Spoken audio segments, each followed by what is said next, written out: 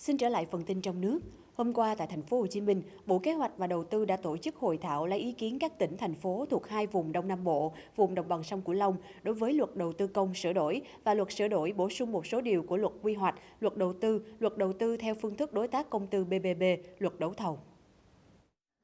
Bộ Kế hoạch và Đầu tư cho biết việc xây dựng ban hành luật sửa đổi bổ sung một số điều của bốn luật nhằm kịp thời tháo gỡ những khó khăn vướng mắc về thể chế pháp luật, khơi thông và phát huy nguồn lực cho phát triển kinh tế xã hội, giải quyết các khó khăn vướng mắc cấp thiết trong thực tiễn triển khai liên quan đến công tác quy hoạch, thực hiện hoạt động đầu tư kinh doanh, đầu tư theo phương thức đối tác công tư và hoạt động đấu thầu, đơn giản hóa thủ tục hành chính, tăng cường phân cấp phân quyền cho địa phương gắn với tăng cường kiểm tra giám sát. Mục tiêu cụ thể nhằm tiếp tục tăng cường phân quyền cho địa phương trong hoạt động thực hiện quy hoạch, hoạt động đầu tư, đầu tư theo phương thức đối tác công tư và quyết định các nội dung trong quy trình thủ tục đấu thầu. Thứ trưởng Nguyễn Thị Bích Ngọc đánh giá cao ý kiến của các địa phương góp ý cho dự thảo. Đối với những ý kiến còn khác nhau, Thứ trưởng cho biết ban soạn thảo sẽ tiếp thu nghiên cứu để hoàn thiện dự thảo luật, bảo đảm tính khả thi hiệu quả trong thực hiện sau khi được Quốc hội thông qua.